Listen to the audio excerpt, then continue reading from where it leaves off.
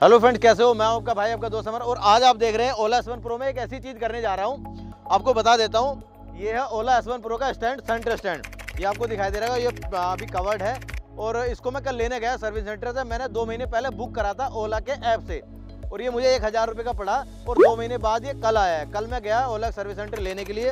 तो जब मैंने इसको लिया तो वो कहने लगा लगा दें। उन्हें एक चीज़ बोली कि हम लगा तो देंगे, लेकिन दो दिन बाद आप इसको उतरवाने आओगे। मैंने यार ऐसा क्यों? तो ऐसा दो तीन वहाँ पे स्टैंड ही उतरे भी रखे थे सर्विस सेंटर में। मुझे कन्फ्यूज़न हुई कि यार ऐसा क्यों हो रहा है? ऐसा क्यों बोल रहे हैं? जो एक बंदे के स्कूटर में लगा हुआ था स्टैंड मैंने उससे बोला, भाई, ऐसे क्या बात है यार? जो ये बंदा बोल रहा है टेक्नीशियन कि भाई आप आज लगवा रहे हो और दो दिन बाद आप इसको उतरवाने आओगे। कह रहा, भैया, ये इसमें एक दिक्कत है, दिक्कत ये है, जैसे आप ये देखो, ये अपना ओला एस प्रो है और इसका ये ग्राउंड क्लियरेंस देखिए कितना है। ये लगभग लगभग आठ से दस इंची की का गैप है। अब जब ये स्टैंड लग जाता है, वो ये बता रहे थे कि जब ये स्टैंड लग जाएगा तो ये ग्राउंड क्लियरेंस कम हो जाएगा। अभी कितना मोटा ब्रेकर होता हम इजीली उसको उतार के चले जाते ये बिल्कुल भी कोई साउंड नहीं करता, नीचे अड़ता नहीं कुछ ही मतलब एकदम मज़े से उतर जाता है। लेकिन जब ये लगता है, लगने के बाद में, वो बताते हैं कि इसमें जो है नीचे ये अड़ना शुरू हो जाता है। तो इसलिए मैंने इसको वहाँ नहीं लगवाया। ये मुझे वहाँ लगवाना था, लेकिन मैंने उसको नहीं लगवाया। अब मैंने आप मुझे दे दो, मैं इसको खुद लगा के देखता हूँ एक बार कि कोई रीज़न ज़रूर है कि ऐसा क्यों होता है। कंपनी ने बनाया तो सोच के भी बनाया होगा, कुछ लगाने में मिस्टेक हुई हुई है, और वो मिस्टेक क्या हुई, उसको आज हम देखते हैं। तो शुरू करते हैं। पहले इसकी ये अनबॉक्सिंग करते हैं। इसमें क्या क्या सामान है, ये आपको दिखाता हूँ। ये है इसका स्टैंड स्टैंड के साथ ये रबड़ी लगी हुई है। ये इसका एक्सल है। एक्सल के साथ में इसमें ना तीन चार चीज़ लगी हुई है। ये है, देखिए। एक ये ये होगी वार्सल होगी, ये स्प्रिंग हो गया, ये इसका पिन होगी तो ये लगभग चार पाँच चीज़ है। आज अब इनको इसको पूरे असेंबल करेंगे साइड करेंगे इसको। तो शुरू करते हैं।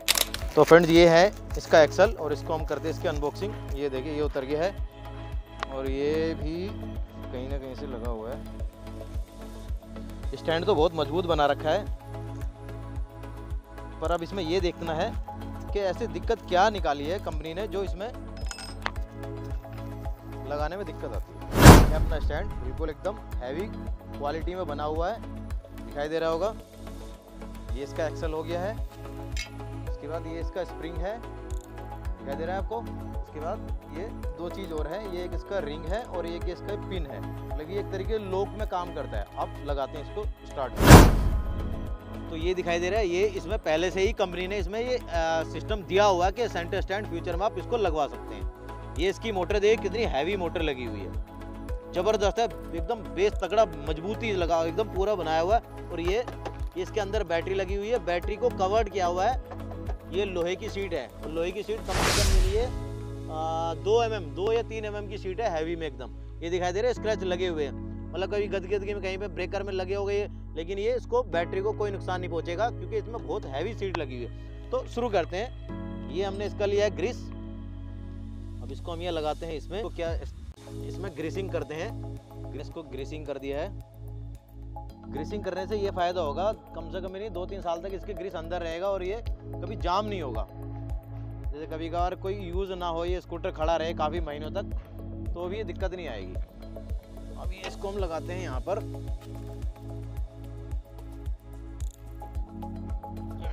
डालिए भाई। ये इसका रीज़न यही है कि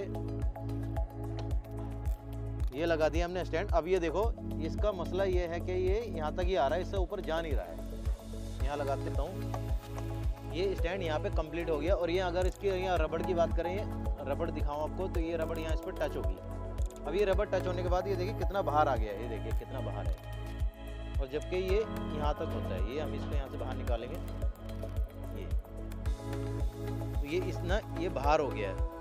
तो ये जो कह रहे थे बंदे, वो सही कह रहे थे क्योंकि पहले जो है ये इतना ये यहाँ तक, इतना हम इसका बेस पूरा बच यूज़ होता था। लेकिन अब जब ये यहाँ आएगा तो ये इतना कम से कम डेढ़ दो इंची ये नीचे आ गया एक बार इसको खड़ा भी करके देखते हैं। ये लग गया अपना सेंटर स्टैंड ठीक है? अब इसको जरा हटाना सेंटर स्टैंड ये स्टैंड देखिए कहाँ तक जाता है ऊपर। लगा रहने लगा रहने स्टैंड को ऊपर करियो भाई, जाइयो एक बार।